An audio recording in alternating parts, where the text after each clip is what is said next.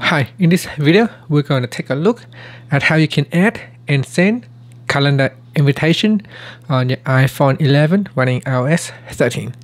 Now first, let's go back to your home screen and launch the calendar app. Now in here, tap on today. I'm just going to cancel the search. So tap on today and tap on the add icon at the top here. And then give your new event a name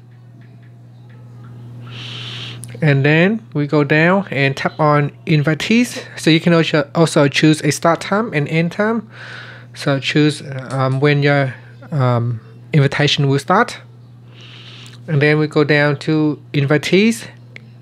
And then tap on um, if it's already in the list you can choose a contact from the list. Otherwise you can tap on the plus icon here.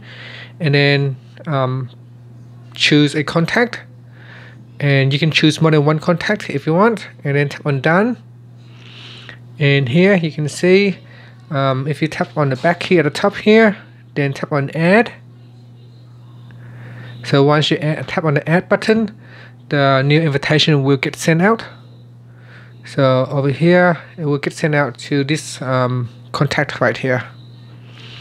And that's how you can uh, generate a new um, contact in calendar and send out uh, not like contact a new event and send out the invitation okay so on my old iphone here uh, i got the invitation comes up as you can see and from here I can choose to accept, maybe or decline. And that's it. So that's how you can send out calendar invitations on iPhone 11. Thank you for watching this video. Please subscribe to my channel for more videos.